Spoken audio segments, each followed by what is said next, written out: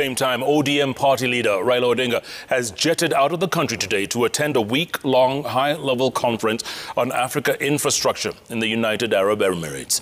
Now, Odinga is expected to brief the conference on infrastructure and energy improvements necessary for increased economic growth.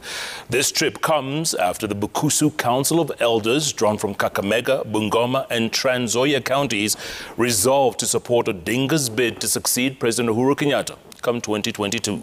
The leaders who met ODM deputy party leader and Kakamega Governor Wycliffe Oparanya at his home in Kakamega pointed out that Odinga was the right fit for presidency, adding that it is time for the Luhya community to be at the decision-making table after years of being in the opposition. The elders called for Luhya unity in rallying support for Raila Odinga, who they say has nationwide support that can propel him to the top seat. Now, the ODM deputy leader says the move to back Raila will boost his efforts to ensure the community votes for him as a bloc. Having listened to the wise counsel of His Excellency Dr. Wycliffe Oparanya, we verily and decisively declare our support for Right Honorable Raila Odinga as the presidential candidate of choice.